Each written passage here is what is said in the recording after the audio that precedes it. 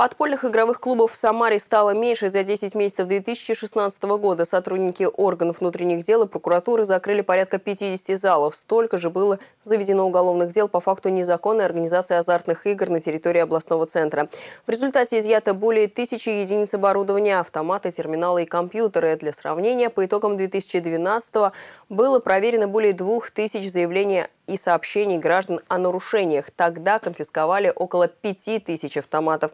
Сегодня количество нарушений сократилось, правда, способы заработка изменились. Все чаще оказываются от одноруких бандитов, используя компьютеры и интернет. Сообщения о легком заработке можно найти в социальных сетях.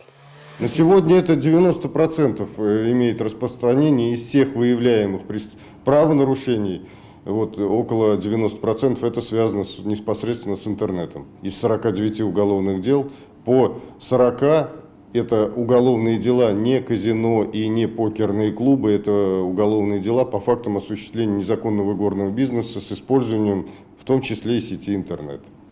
Сейчас перед полицией и органами прокуратуры стоит задача полностью ликвидировать игорный бизнес в Самаре. Процесс этот лично курирует новый прокурор области Константин Букреев. Как и раньше, круглые сутки принимается любая полезная информация от жителей города. Телефоны доверия прокуратуры вы видите на экране.